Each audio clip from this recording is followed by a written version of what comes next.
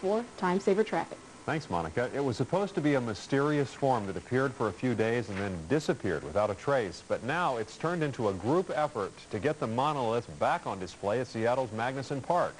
As KOMO's Emily Langley reports, today some activists were enjoying a moment in the sun.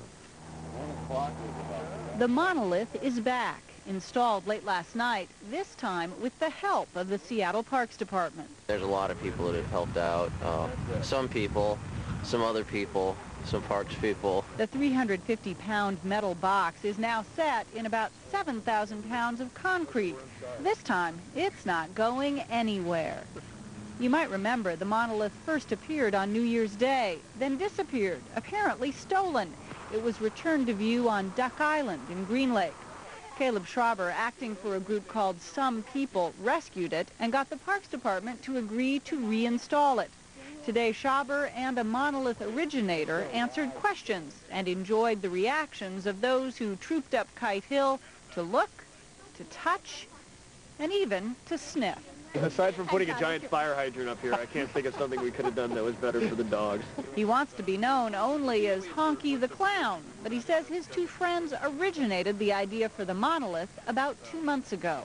That was what the idea was. We wanted people to be able to uh, see something happening that was purely enjoyable and, and simple but, but beautiful. I the mean, monolith theft was not planned, and it left the form with some dents and scratches.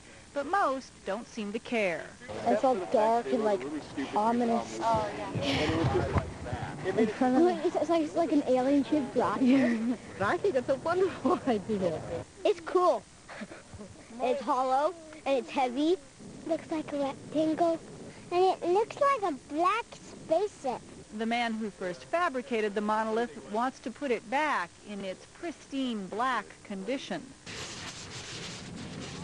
The monolith will be here through March, but will then be removed to return the hill to kite flyers. Still, that will give some people time to find the monolith a new home, just in time for April Fool's Day. In North Seattle, Emily Langley, KOMO 4 News. And the monolith has a special permit to be there until just March 31st. Some kite flyers say the form interferes with the breezes on the hill and objected to it being installed permanently. We'll tell you about another strange